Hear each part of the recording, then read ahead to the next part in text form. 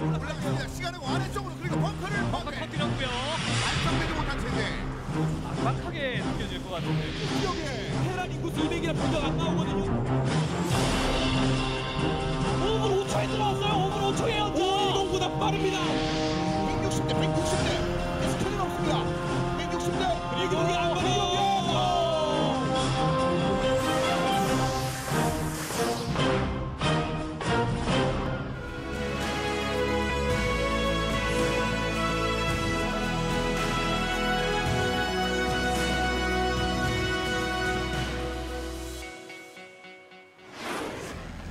재미없는 조인 것 같아요. 재미가 없어요? 딱히 별로 기대도 안 되고 매치도 김명희 선수 대 조진 선수도 별로 재미없고 저랑 동준이 하는 것도 솔직히 뭐 이야기거리도 안 되고 다른 조에 비해서 요즘 조인 것 같아요. 재미가 없는 것 같아요. 조가. 감정적인 경기. 네. 예, 플레이에서 모든 것이 좀 느껴질 만한 아주 독대레몬이에요. 멘탈을 아주 가루로 만들어 버리는 이런 그 경기 운영이 아닐까. 누가 제일 재밌어요? 중혁이가 제일 재밌는 것 같아요. 공격적이니까. 누가 제일 재미없는 것 같아요? 윤종이 형이요. 네, 잘은 하는데 그냥 잘만 하니까. 네. 일단 제가 윤종이 형을 이긴다면 중혁이가 이길 거라고 생각하고 있기 때문에 그러면 제가 1등으로 올라갈 것 같고 대로 갈 것을 아, 넘겨짚고 그리고 자신의 우승한 거를 봤다면은 네. 영식류 치소류. 네. 와. 캔슬 너를 캔슬 시켜주마는 듯. 어? 자, 아래 두 들어가는데 옆길 열렸죠. 야. 불멸자 불멸자 뒤쪽으로 뺐고. 아니 이걸 어떻게 들어가죠 김명수? 평소에 김명수 선수 어떻게 생각하세요? 아니 팀 뒤에 계신데 못해서 뽑았어요. 그냥 솔직히 말하면 세 분 다 저보다 급이 높은 선수들이라서 제가 항상 말만 잘하고 좋은 모습 못 보여드린 것 같아서 열심히 준비해서 후회하지 않도록 경기에 임하도록 하겠습니다.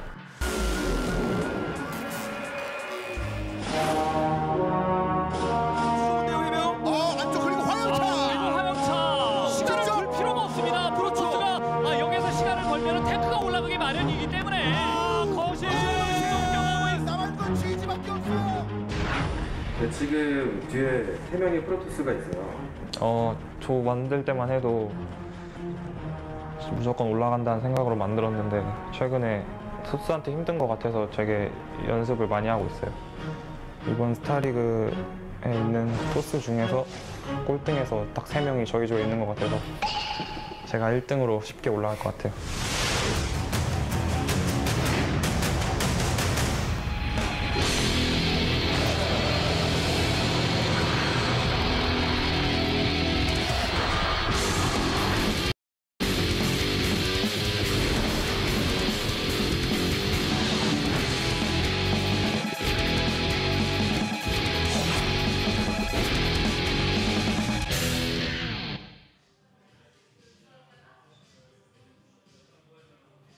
Eh bien, bonjour, bonsoir et bienvenue pour cette Star League. Comment ça va, Coca? Bah ça va, écoute, on va attaquer un groupe. On l'a vu dans cette petite présentation. The Man Against the Protoss. Ouais, elle était tellement stylée cette Ouais. présentation Man versus Protoss. Alors, euh, nous non plus, on n'a pas eu euh, tous les sous-titres, mais on, a, on en a perçu quelques bribes. Et euh, notamment Dream qui dit je vais tous les défoncer. Big up à Gaucher, tu rocks du Gnutu, merci beaucoup. Mais Dream qui dit euh, attends, qu'est-ce qu'il a dit? En gros- yes, Protoss is overpowered, but they are going to be my lunch. C'est ça, en gros. Et puis bon, à la fin, on le devine à la tête des trois compères. Là, Ouais. en gros, il dit bon, de toute façon, je vais les défoncer. Et alors, moi, j'avais vu une autre version où on le voit vraiment, il se lève et il se barre, tu vois. et les autres, ils se retournent, genre, sérieux? Mais en fait, c'est vraiment euh, génial. Euh, C'est euh, Ouais. faut voir que ces petites scènes. donc vous avez vu, les trois étaient dans son dos, mais ils entendent ce qu'il dit et lui, il est devant la. Ouais. Enfin, un par un, ils sont devant la caméra. Mais c'est nouveau en Corée en fait. C'est pour monter un peu euh, la hype, Ils tu font vois, ça de le plus côté en un peu plus, euh. provocation. Mais c'est charmé parce que ça donne vachement de personnalité et de cœur euh, à tout ça. Et puis on les voit rigoler et tout, donc c'est Ouais, vraiment en, cool. En plus, les mecs, ils, ils se tapent sur la gueule, mais ils se connaissent bien tous. Ouais. Tu vois, c'est euh, un peu comme notre top FR. Ça reste des mecs qui se marrent entre eux. Et, et c'est vrai que les voir, le voir Dream qui arrive, qui dit non, mais de toute façon, je vais les bouffer. Les ils sont choqués derrière. C'est trop clair. drôle, tu vois. Et euh, ils font ça de plus en plus en GSL. Il y a aussi les pics de groupe, tu sais, où aussi ils sont, ils sont tous ensemble et ils disent non, non, mais lui, je vais le prendre dans mon groupe, je vais le démolir. Ouais, ouais. Et puis lui dit bon allez il y a parting à côté qui dit bon allez prends-moi sérieux arrête de casser les couilles tu vois et qui veut pas se retrouver dans tel groupe et ils sont dans leur stratégie c'est très très marrant Mm. ils font ça Ouais, de plus en clair. plus en Corée et donc du coup vous l'aurez compris on va attaquer un groupe de trois Protoss contre un Terran Donc ces, ces plans, on va essayer de vous les diffuser de plus en plus. Alors euh, le, le problème, c'est qu'ils sont rarement sous-titrés et on n'a pas encore d'interprète euh, franco-coréen euh, chez O-Gaming. Mais je- parfois, on peut percevoir, euh, enfin parfois c'est- c'est traduit en anglais déjà, et parfois on peut comprendre un peu ce qu'ils disent. Oui, et je bah, pense que gestuelle vachement intéressant. on peut essayer de Ouais. comprendre ouais. Mm. donc, euh, ou sinon on fera la traduction nous-mêmes. c'est ça Ce sera mais de la euh, merde, mais dans un an je pars en Corée six mois en études tu vois je Ah. reviens je vais, je vais poncer Starcraft et apprendre le coréen tu vois c'est le but du ça a jeu l'air, ça a l'air assez difficile euh, le coréen. Ouais mais a- bon en six mois ça va non? J'aurais deux trucs pas. à faire. et après, je prends mon petit dico et je traduis les, les, les- les deux minutes de vidéo une par une, mot par mot, signe par signe. Ça peut être cool. On va essayer. Et du coup, ce soir, donc, on a euh, le groupe euh, de la Star League, on a trois Protoss et un Terran. Ah Il y a de la musique? Ok. Non, non, Ah, c'est au fond là, c'est Non, non, mais j'ai entendu Ah, euh, ok. un truc. Ok, désolé. Mais euh, donc, on a, euh, on a Dream. Et Dream, il l'a mauvaise, tu vois, parce qu'en saison 2, en saison 2 de la Star League, Ouais. il s'est fait éliminer en finale par un Protoss et il s'est fait rouler dessus. Donc, Dream, qu'on voit à gauche. C'est ça, il s'est fait bouffer par Classic qui avait très très largement mieux préparé son, sa finale. Et il lui a mis le 4-1 un peu sec. Dream qui euh, du coup revient en SSL cette fois-ci et qui devra encore une fois taper du Protoss. Et il a le swag. Ouais. Il a le swag. Regardez la photo. Il est totalement dans la place, Dream. Voilà, donc contre Protoss, 70% de victoire. Fortesy, big up si tiens. Euh, tu te souviens de INGG Hmm. Je ne sais pas. On a. hmm, ça me dit rien. Mais. euh, C'est de désolé. 42. C'est, ça devait être en, en soirée un peu trop alcoolisée. Du coup, j'ai oublié. Mais, euh, mais voilà, donc on voit il y a un gros ratio de victoire aussi pour Myung-Sik Ouais. contre Terran. Ouais, non, non, mais euh, la Munsic en fait, sa spéciale c'est la chinoise. Tu sais, c'est la stratégie Colosse Phoenix. Ok, Et super. C'est Munsic qui l'a inventé en fait. Ouais. Euh, le premier à l'avoir vraiment popularisé et c'est fort, c'est fort. Bah, j'aimerais bien. Il y a peu euh, de Terran qui arrivent à s'en sortir contre ce et il y a peu de Protoss qui se risquent à le jouer aussi. Ça, ça a des timings de faiblesse, Ouais. mais euh, J'aimerais vraiment euh, voir ça et voir surtout trois Protoss qui vont avoir des styles de jeu différents contre Terran. c'est ça. Ensuite, on a Rain. Donc Rain, c'est, euh, ça fait très longtemps que, euh, qu'il, est, qu'il est connu et c'est un joueur vraiment... euh, il est habitué au final, tu vois. Il, a fait, il a fait de très très belles performances. Et Donc Rain, récemment, euh, winner de GSL et de Home Story Cup dans la foulée, Ouais. hein, donc il y a un petit peu près un mois. Donc ouais, Rain qui est dans une bonne forme en ce moment. Ensuite, on a Munsik. Munsik qui est en Pro League est un homme qui perf chez, euh, chez Sbenu, il monte en puissance, Munsik tout doucement, mais il n'arrive pas dans les compétitions individuelles à forcément faire les bonnes perfs. On le voit avancer jusqu'au Codes, on le voit arriver en Star League, mais il fait pas forcément les résultats attendus en poule. Et euh, donc voilà, Munsik c'est un petit peu le sub-top coréen, tu vois, c'est euh, c'est ce niveau-là de jeu à peu près. Ouais. Et le dernier c'est Dir, le de, de Samsung Galaxy, un vieux de la vieille. hein. Dire ouais, un excellent joueur Protoss. Mm. Du coup, qu'est-ce qu'on fait Max? On envoie direct... euh, Ouais, ok. On va attaquer directement la première rencontre et ce sera un TVP, les amis. TVP entre Myung-Sik et Dream. Donc Dream qu'on voit à gauche. Alors Dream, bah, il a l'air en confiance, tu il vois. a pas enlevé sa veste. tu il vois. a pas enlevé Il sa veste. il aura pas le temps d'avoir chaud, être tu court, tu vois. Il aura pas le temps d'avoir chaud là. Ouais. Il va le, il va le nommage très rapidement le Dream. Avec son petit badge, hein, euh, t'as vu les petits badges SSL qu'il a accroché à sa veste là Ouais. le, le petit. euh, c'était. euh, il avait dit Barack Obama, je crois, euh, à Nos, ça m'avait fait marrer. Alors que c'est. je Bah, J'espère qu'on pourra le revoir. je sais plus Allez, du coup, on est parti, les amis. 0-0 en bas à droite, en Terran rouge. Il s'agit de Dream.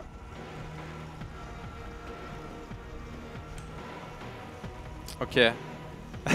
ah, ok. Et opposé à lui en haut à gauche, il est pour la team Sbenu, il est en Protoss, il est bleu, il s'agit de Munsik. Alors est-ce que t'as vu le cast de Funka en anglais euh, pour les IEM Ah non, je pas vu. Il a casté en anglais avec Kelaris. Alors, c'était bien? Franchement c'était cool. Moi j'ai bien aimé. Bon je vais le tweeter hein. Nous, nous n'abandonne pas Funka, fais pas ta pute. fais pas la pute. Hashtag Funka. fais pas ta pute. Hashtag fais pas ta pute. Mais bien. franchement euh, très bon cast en anglais de la part de Funka.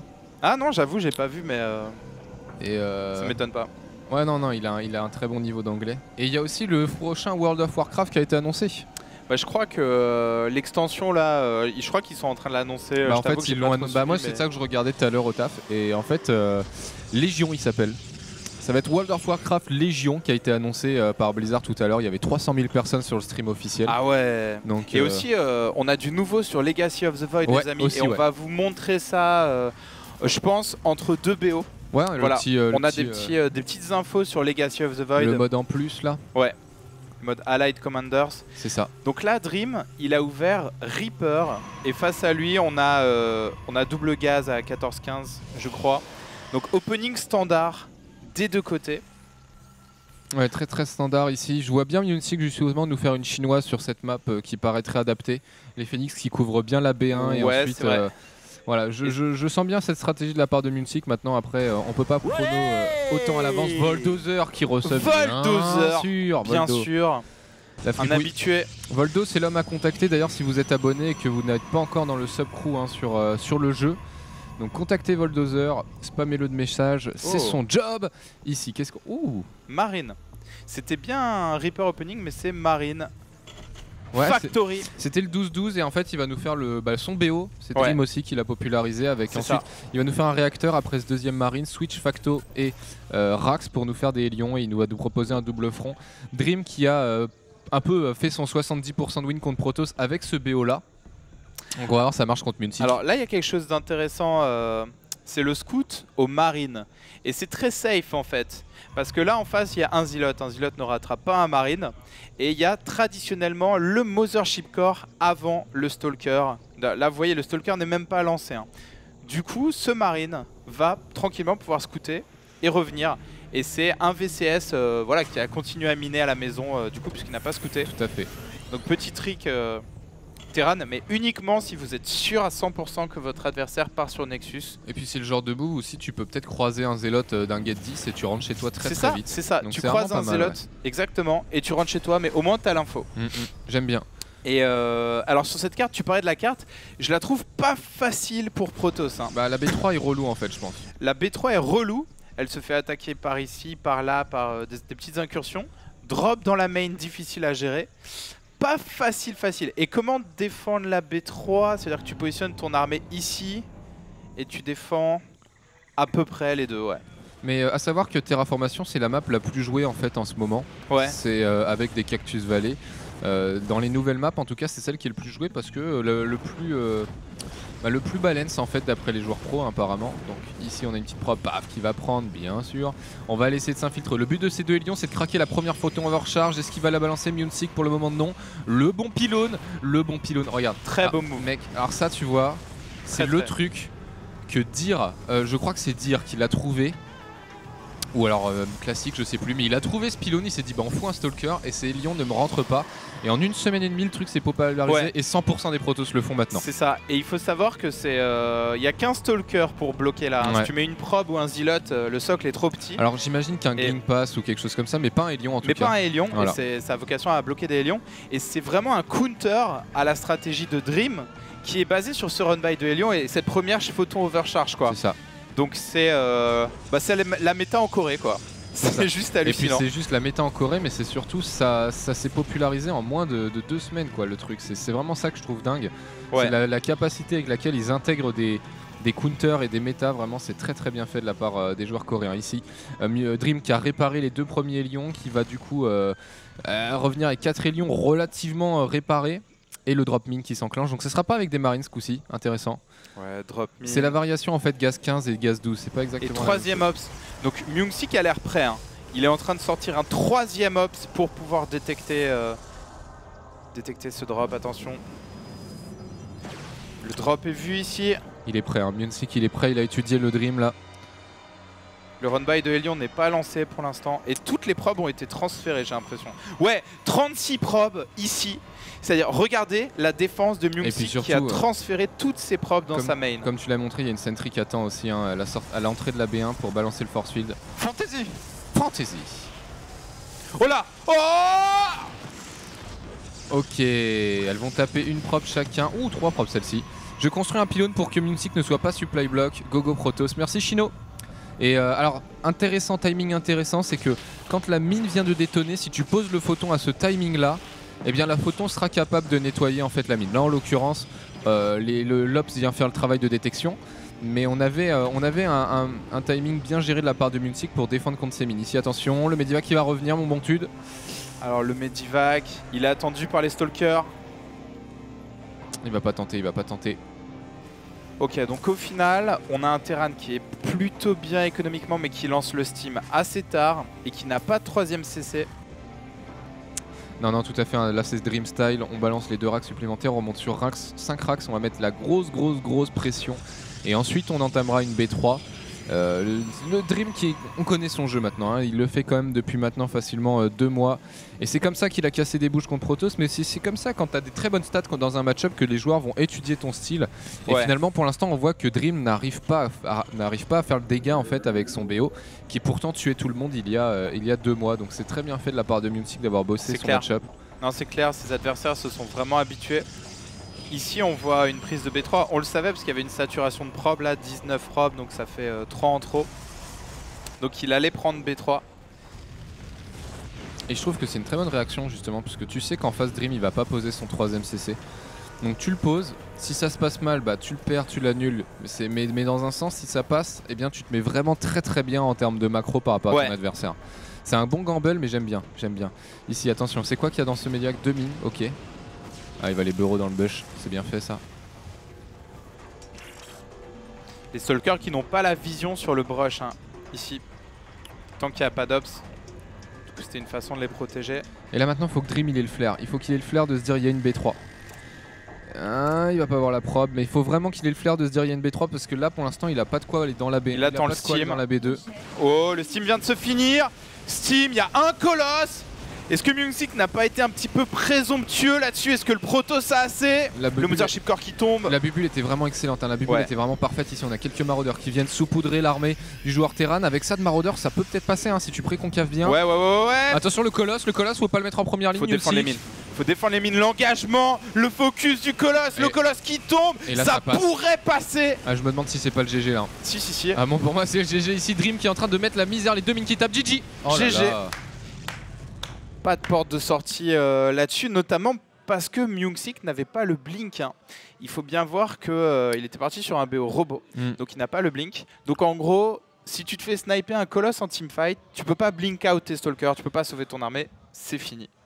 Ouais, non, mais là, je comprends pas trop qui a sacrifié sa game en fait pour défendre cette B3. Alors qu'il a vu qu'en face, il n'y en avait pas, tu vois. C'est vrai que c'est un peu euh, C'est- questionnable. C'est ce que je disais deux Et- secondes avant. Je disais, Ouais. au pire, sa B3, si elle se fait attaquer, bah, il la laisse tomber parce qu'en face, il sait qu'il n'y a pas B3. Donc, dans un sens, ça fait B2 contre B2. Il a perdu 400 000 Ouais. rem, il ne perd pas son armée. Là, en l'occurrence, il essaie de la défendre et il perd la game. Je trouve ça euh, discutable de la part de Munsic. Ouais, et, Voilà. euh, et surtout que Myungsik avait vu avec son Ops dans la base de Dream qu'il n'y avait pas de troisième base. avait les qu'il 5 avait- racks et tout. qui ouais. avait les 5 racks. Donc, il a vraiment pris un risque. Euh, Dream l'a forcé à défendre entre ces deux bases, c'est-à-dire hors de portée de Ouais. photon overcharge, ce qui aurait fait une grosse différence. C'est vrai que euh, bah, c'est pour ça que la carte est délicate aussi. hein, Le Protoss était forcé de défendre là, ou alors il a abandonné une base. Ouais, non, je, je, je comprends pas trop. il y, a- il y a quelque chose d'autre qui est peut-être critiquable, c'est la forge en fait. C'est le, le fait qu'il ait fait la forge. Euh, pourquoi pour, ouais, euh, parce que ça ralentit les colosses en fait. Il parce que lancé y a- son plus un y de a- défense, c'est ça? Ouais, Ah, forge, conseil crépusculaire. Et en fait, sans forge, donc Mm. tu retardes la forge, donc tu retardes le conseil crépusculaire, ou tu vas faire une double forge derrière par exemple. Mais du coup, ton premier colosse et ton deuxième, tu les as plus vite. Et Là, tu retardes tes ouais. upgrades, mais en général, les Protoss font ça pour repousser un timing euh, Terran fort, tu vois, parce que tu as un colosse de plus. Et du coup, on est parti. On est sur Cactus Valley, les amis, en bas à droite. En Terran rouge, il mène 1 à 0. Il s'agit de Dream.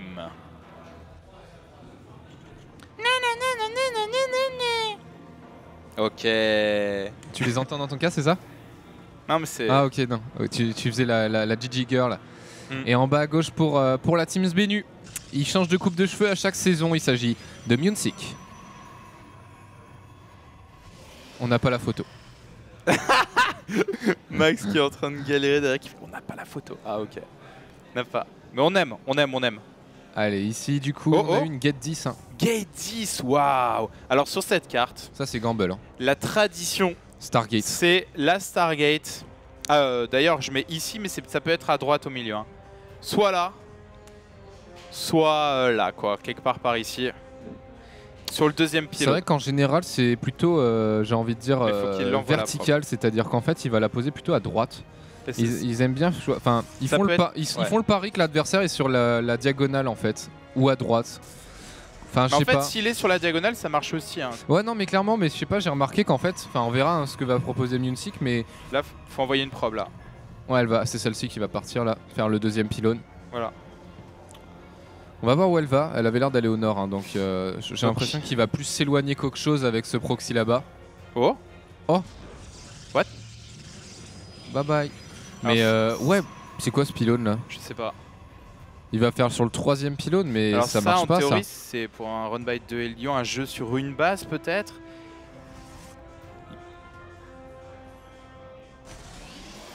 Oh, c'est un, c'est un 4 gate. Bah en fait, c'est euh, un 4 ou un 3 gate ou un. Non, c'est un. pour moi c'est un 4 4 gate. gate. Il y a pas, C'est un 4 gate. il y a pas de Momocor. Génial. Alors, on va avoir un 4 gate de la part de Myung-Sik. Il vient scouter là. Il voit que son adversaire n'est pas là. Et en face, et en face on a eu CC First. En face on a eu CC First de la part de Dream. Ça me plaît, euh, ça me plaît ce 4 gate là. Ouais. Donc là, la défense, c'est bunker, VCS, peut-être un deuxième Une gate, bunker. deux et c'est- gates et la troisième. Défendre la choke. Défendre ici, c'est beaucoup plus difficile. Ça peut se faire, mais c'est difficile. Ah, il a rajouté que deux gates mon tude pour l'instant. Ouais, ça, Ça sera être 3 gates full stalker alors. Ouais, mais non, en fait, tu montes Tu à peux faire 16, quatre, hein. 16 et 3, tu peux faire 4 gates. hein. Ouais. Donc il sait que c'est en bas. Étrange. Allez, faut aller poker avec son stalker là, faut aller checker si c'est le CC First ou non. Allez, Alors, embêter il le essaye de bunker. cacher euh, sa strat, je pense. Il faut voir aussi quelque chose, c'est que le, le pylône de Warp va être late. Comme c'est le troisième spot qui a été scouté, Ouais. le pylône de Warp, re- regarde, le Warp Gate c'est dans 20 secondes que c'est fini. Le pylône sera fini euh, un peu en retard. Mais ouais, il Tu y, a diras, un- il y a le temps que les gates se warp. il y a un petit manque Attention, de mais faut le lancer tout de suite, faut le lancer. Il en a au nord là en Ah, fait. Il, il en a un fait au nord. mais il va en poser un juste ici à mon avis là, comme un bourrin. Oh là là, mais pour l'instant, Dream n'a pas compris, mais pas du tout. Dream, Dream, oh là là, c'est trop tard. Il faut sortir tous les VCS maintenant là. Est-ce qu'il va réussir à défendre? Il, pose les, il fait les Marines par 3, il a déjà son bunker en route. Attention, et là il en a vu beaucoup. Là il a vu beaucoup de Marines. Ici le pylône, le, le bunker plutôt qui est. Ah, le bunker qui est annulé ici. On va remonter dans la B1. Oh, ça va être compliqué là, ça va être Ça très va être compliqué. très compliqué. Les stalkers qui sont là et qui focus. 5 stalkers pour one shot un VCS bien sûr. Ouais, mais en fait, j'aime pas la situation de Munich dans le fait, dans le sens où il n'y a pas de zélotes, il y a que des stalkers. Voilà, il lui faut des zélotes là dans cette compo ici. On va remonter le CC et il a pas la vision. hein. Il a pas la vision. Les bunkers qui sont déjà bien avancés, qui sont à la moitié de la prod ici pour l'instant. On a perdu que 9 VCS. Oh, 12 beaucoup. Là, ça commence à tomber. Ça commence à tomber. Les zélotes qui font l'écart. On est à 13 SCV, mais on a 2 Mais CC. Ne l'oubliez pas. je pense pas que ce soit assez pour l'instant. hein. Non, pour moi, il a pas fait assez de dégâts et là maintenant c'est foutu son push. Après, bon, 9 SCV à 19. hein. Ouais, deux mules, donc euh, à peu près équivalent au niveau économique. Euh, J'aime Attends, bien le Est-ce que positionnement. ces stalkers peuvent encore faire des dégâts? Je pense pas. Les stalkers qui vont run by, et là je pense que c'est le 2-0 pour Dream. hein. Ce move, c'est le 2-0 pour Dream. Normalement, tous les stalkers crèvent sans trop avoir fait de dégâts. Ah, on est à 9 SCV toujours, faut continuer de les prod. Côté Dream, on fait que des Marines pour l'instant, on a vraiment peu d'écho ici. Les les mules plutôt qui sont pas focus. Et on essaye de choper des SCV. Je sais pas, hein, ça passe pour Dream ou non. GG Waouh Ouais, GG. Ah, il y a trop de Marines et les bunkers, ouais. Et les deux mules, euh, Bah, dis donc. GG. Mais attends, mais tu peux pas repartir macro là quand t'as 7, Si. 19 probes à 7 Je pense, je pense que tu Là, peux... il GG trop vite. Je pense qu'il GG trop vite. Je pense qu'il GG trop vite. Je pense que la game macro, tu peux quand même la tenter. Mec, moi, pour moi, c'est tu warp 5 stalkers, tu les laisses en bas de la choke, tu fais croire que tu vas retourner, que tu, tu- tu sais, tu restes en bas de la choke et tu, tu, tu essaies de retarder le plus longtemps possible la, la B2. Et puis tu, chez toi, tu tech quoi. Ou limite, tu pars d'été ou des trucs comme ça, tu vois. Non, je suis- je suis d'accord que euh, C'est trop rapide pour moi comme GG, c'est trop bon. rapide. Ou alors tu warp deux sentries chez toi et tu poses le Nexus. Ou- Et ou 4 tu- sentry chez lui et tu le bloques, bloques, bloques. Et, Ouais. tu, et tu tech chez toi B2, etc. hein. Hum, totalement. Sa facto, elle est à des années-lumière de se faire, vu qu'il a que 7 SCV, il peut pas miner de gaz. hein. Je suis d'accord que c'était. Regarde, Dream, il a l'air un peu surpris aussi. hein. Bon, Ouais. ok. C'était un peu rapide euh, comme GG. Ok. Les castors anglais ont, avaient l'air de se poser la question aussi euh, sur ce GG rapide. Quoi qu'il en soit, les amis, on va faire une petite pause et on se retrouve dans un instant pour la prochaine rencontre. Restez dans le coin, à tout de suite. Tout de suite. 아,